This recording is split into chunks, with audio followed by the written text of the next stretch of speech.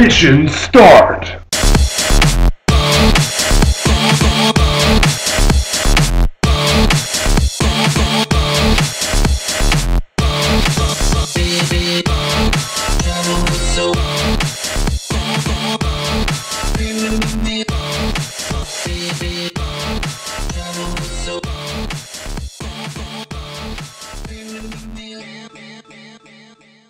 Hey guys, it's Kyle. And Denzel. And today we have another Pimp My iPhone episode for you, and it's called 7x7 Springboard. Springboard.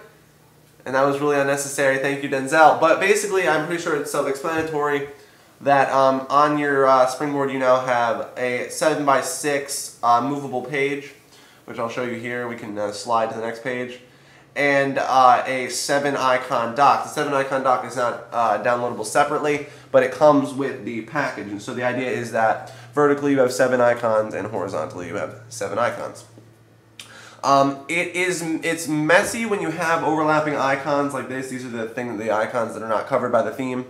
But um, you can get this theme. It's called Abeo, and what you can do is you can download these and you can do the all images and extra icons, and it will cover all uh, App Store applications. As you can see, I have a little bit of a Pocket God right here, which is uh, obviously from the App Store, and it will cut those down and it will make them all be able to fit quite nicely in your new Springboard.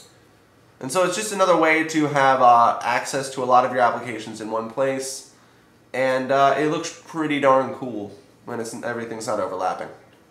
I mean, you you get you get more you get springboard applications. You get more springboard applications. Exactly. That- So, and yeah, so I have quite a few applications, obviously, and just to do a quick a little bit, a little bit of math here, 6 times 7 is 42, isn't it?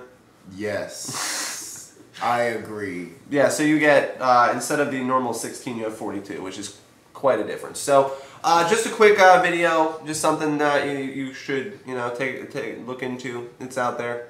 And uh, yeah, this has been Kyle And for Denzel. Mission Start, and thank you for watching.